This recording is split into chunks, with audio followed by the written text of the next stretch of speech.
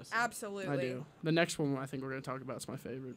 It's my favorite in the yes, the next matchup with Nashville and Detroit is my most exciting in the West that we talked about on off the bench last night. It just it has so much in it. Go ahead and discuss. You wanna go? No, go ahead. All right. Um, I actually like this one a little more than the Penguins and Flyers one. I love. Don't get me wrong. I'm a big Penguins fan. You know, I'm excited about this matchup, but you don't hear a lot about the West, and you know, I'm not really. Yeah. All I care about is the Penguins. Like I love the NHL, and it's great to see this kind of matchup. Um, unfortunately, I know Penguins fans who are listening aren't gonna like this. I know. I feel Detroit's gonna win this matchup against Nashville, but I just like this setup. Nashville is another team I compare a lot to St. Louis. You know, who's scoring out there for them? Nobody, but they have a great goalie, and they have two of the best defensemen in the league in Yeah. Shea Weber and Ryan Suter. So, but it's the Detroit, you know, legacy. Whenever you hear the Red Wings, you always think that they're gonna they're gonna win, and even if Zetterberg had a down year, I just when they get into the playoffs, like I said, it's different. And when you compare their talent to Nashville's, I think that you know the Red Wings have a big advantage. Maybe not on defense, but definitely on offense. So Um, eh, you know, I kind of agree with you in the fact that Detroit might win, yeah, just because they're probably in Nashville's head at this point. Because Yeah. the last two seasons, they the Detroit Red Wings have knocked them out of the playoffs. Mhm. So if I were them, I'd be like, oh, not these guys yeah, again. yeah. you I'd know, be tired of them. they're a good team, but every year older, older, older. Yeah, So I think Nashville's finally gonna beat them Really? this year. Alexander Radulov's gonna tear it up. He's so good. I can't even take it. I hate him, but he's so good. Yeah. Um, I don't know. It's just I always go with Detroit.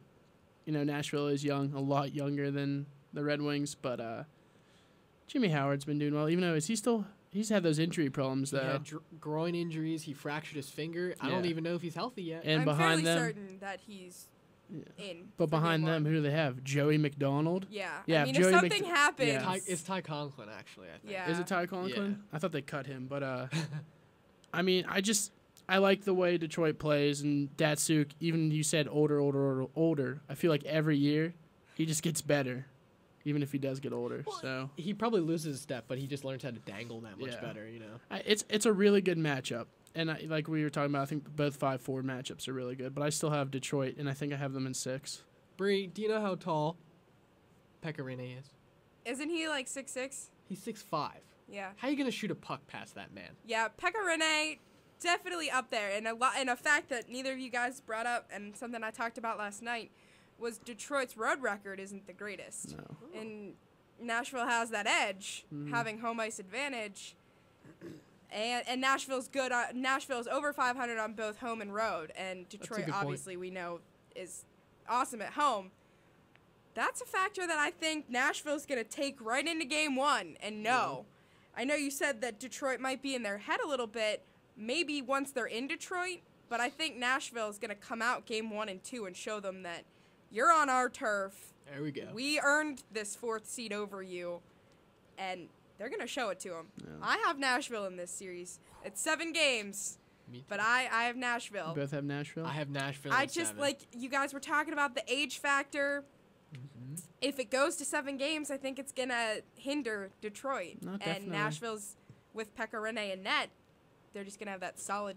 you know. 43 wins led, led the NHL. Yeah. I didn't even know he had the most. I Yeah. thought Fleury had the most, but he came. No, Fleury. No. Fleury was getting there, but Yeah. then that three-game losing streak we had, he just when he was going to tie Tom Barrasso's franchise record. he didn't feel like doing it this season. no, honestly. he. I guess not He's because chilling. Yeah.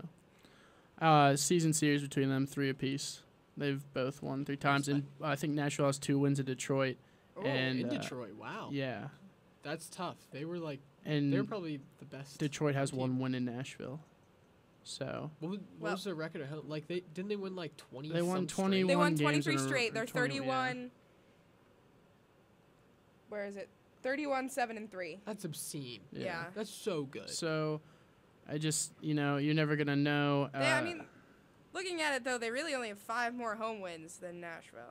yeah. Really? Yeah, Nashville being 26, 10 and five at home. Wow, they're really good at home too. Yeah. So that's what I mean with Detroit's losing road record going into a Nashville winning home record. I just think that matchup's really going to help Nashville, and uh, Nashville's fans are going to be excited. They were excited last year that they were starting to Yeah. get somewhere. Get Yeah, excited. finally. Yeah. They're They on a team be. on the rise. yeah. Definitely. St. Louis and them, I just in the next couple of years, watch out because now that those players are going to turn into veterans, the kind of goaltending that they both have, Absolutely. I'd be afraid. and Na- I just like I said, I think Nashville has the edge over Detroit in this seven Absolutely. games. That's what you have too. Oh, Nashville in seven. Detroit in six. Guess we'll just have to see. that was your Western Conference. We're gonna take a break. When we come back, we'll go over the Eastern Conference. Keep it here. You're listening to Slapshot Snapshot on 91.7 WCUC FM, The Clutch.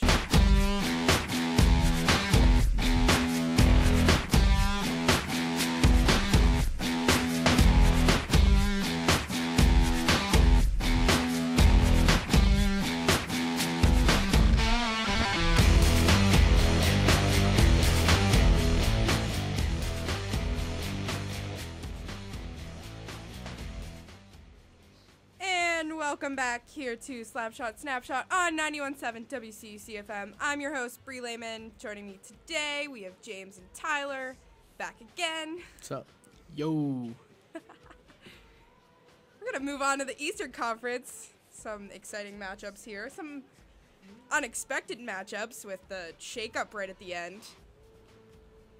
But yeah, let's let me pull it up so I don't say it wrong. But we have number one, New York, against, like I said, unexpected, number eight, Ottawa. What do you have? Uh, um, that was quite a surprise at the end of the year. Uh, didn't expect it.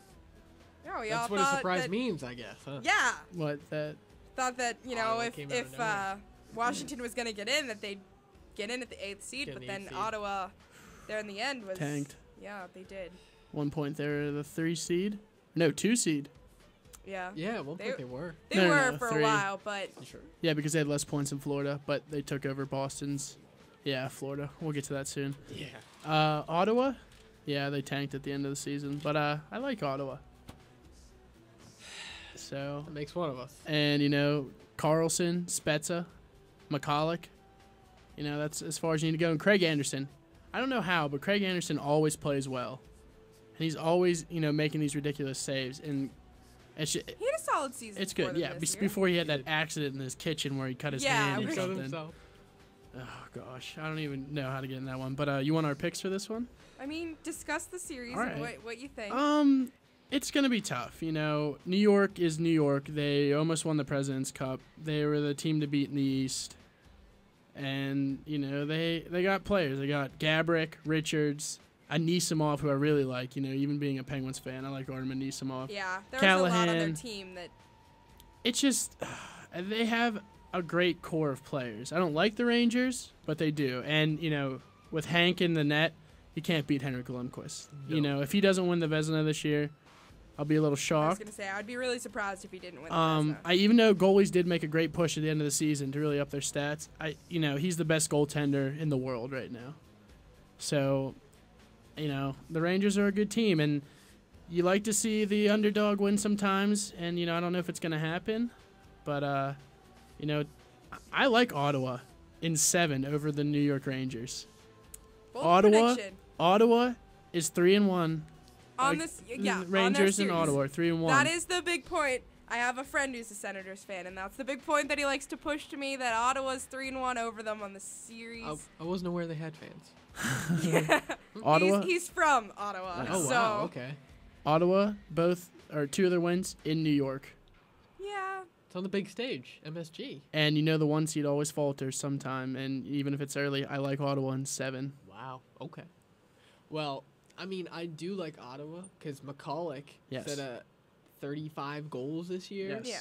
That's impressive. Jason Spezza, 34 goals. Yes. He had like 84 points, I think. Yeah, he really. They're, but when you think about it, that's just their top line. yeah. Yeah. Where else are After they getting that, scoring? Foligno, but Nick Foligno is not the answer. I don't like his face.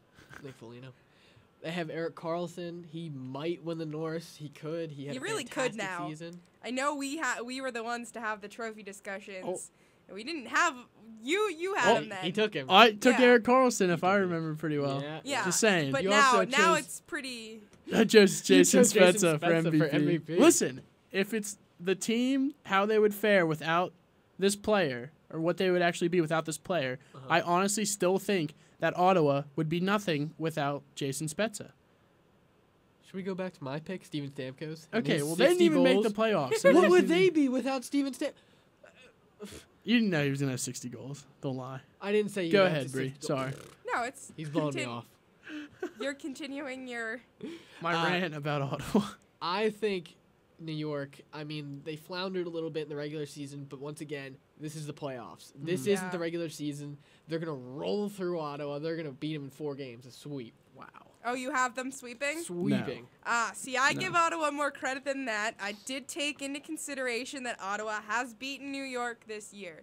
However, it's the playoffs. New York's gonna come out ready to go, and they're they're gonna win. I have New York winning in six. Ottawa when in you seven. just look at what New York has, you can't beat it. They're obviously the best in the East for a reason. you can't.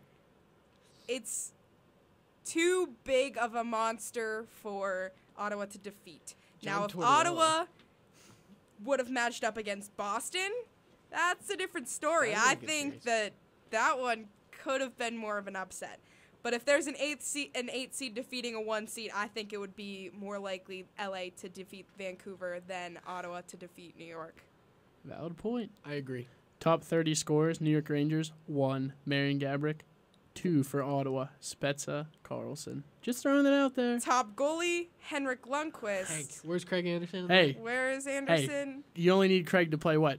Four games that he can do well in. That's all you need. So just keep going. I I'm mean, just telling you. Yeah. I got to you spice make- it up a little bit, and I'm saying, oh, obviously, there would be nothing if we all agreed. you know, I and it's a valid point. I'm, I like I said, I don't want to take anything away from Ottawa. No, they had no. a very surprising season. I mean, who came in to the regular season saying, "Oh yeah, Ottawa's gonna make a splash"? Yeah. No one. No one. No, and that's the reason. They reason. were they were supposed to fight for the number one overall pick. Yeah, exactly. And I think they had Ottawa. I was looking at this at the beginning of the season. Their power rankings, uh, according to ESPN, Ottawa was was 30, Yeah. dead last. Wow. Yeah.